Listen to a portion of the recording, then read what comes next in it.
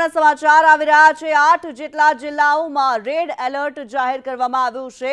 હવામાન વિભાગ દ્વારા જે પ્રમાણે અનરાધાર વરસાદની આગાહી કરવામાં આવી છે. ભારેથી અતિભારે વરસાદની આગાહી રાજ્યના આઠ જિલ્લાઓમાં રેડ એલર્ટ જાહેર કરવામાં આવ્યું છે. આ જિલ્લાઓ કયા છે તેની વાત કરીએ. કચ્છ, જામનગર, દ્વારકામાં રેડ એલર્ટ જાહેર કરવામાં આવ્યું છે. આ સાથે જ પોરબંદર અને જૂનાગઢમાં પણ રેડ એલર્ટ આપવામાં આવ્યું છે. વરસાદ ભારેથી અતિભારે પડી શકે છે. આ તમામે તમામ જિલ્લાઓ મહત્વપૂર્ણ રીતે સૌરાષ્ટ્રના જે દરિયાકાંઠાના જે જિલ્લાઓ છે તેની વાત કરવામાં આવે. જામનગર, દ્વારકા, કચ્છમાં રેડ એલર્ટની જાહેરાત કરી દેવામાં આવી છે. પંદર જિલ્લાઓમાં ઓરેન્જ એલર્ટ જાહેર કરવામાં આવ્યું છે. ભારેથી અતિભારે વરસાદ વરસી શકે છે.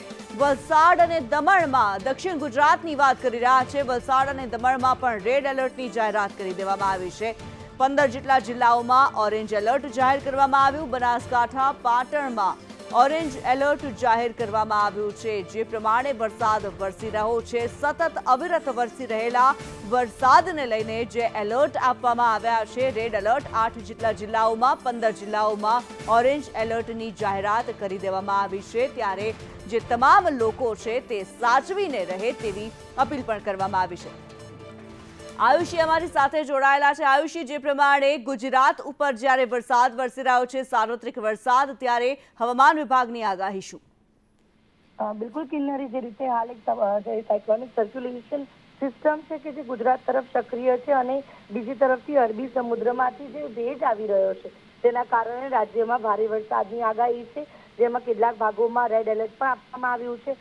કચ્છ, જામનગર, દ્વારકા, પોરબંદર, જુનાગઢ સુરત, નવસારી, વલસાડ, દમણ અને દાદરા નગર હવેલીમાં રેડ એલર્ટ આપવામાં આવ્યું છે. જ્યારે બનાસકાંઠા, પાટણ, મોરબી, રાજકોટ, અમરેલી, ભાવનગર, ગીર સોમનાથ, પંચમહાલ, દાહોદ, છોટાઉદેપુર, વડોદરા, નર્મદા, ભરૂચ, તાપી અને ડાંગની અંદર વરસાદનું ઓરેન્જ એલર્ટ આપવામાં આવ્યું છે. સાબરકાંઠા, મહેસાણા, અરવલ્લી, મહીસાગર, ગાંધીનગર, અમદાવાદ, ખેડા, આણંદ, સુરેન્દ્રનગર અને બોટાદમાં વરસાદનું યલો એલર્ટ આપવામાં આવ્યું છે. એટલે કે આજના દિવસે રાજ્યમાં કેટલાક સ્તરો પર ભારે તો કેટલાક સ્તરો પર અતિભારે વરસાદ પડશે જેને લઈને સમગ્ર રાજ્યની અંદર સાર્વત્રિક વરસાદ સાથે અલગ અલગ જિલ્લાઓમાં વરસાદી એલર્ટ આપવામાં આવ્યા છે અને જે જે સ્તરો પર રેડ એલર્ટ આપવામાં આવ્યા છે, ત્યાં પણ એનડીઆરએફની ટીમોને પણ જે સતર્ક રાખવામાં આવી છે અને લોકોને પણ ઘરની બહાર ન નીકળવા માટે સૂચના આપવામાં આવી છે.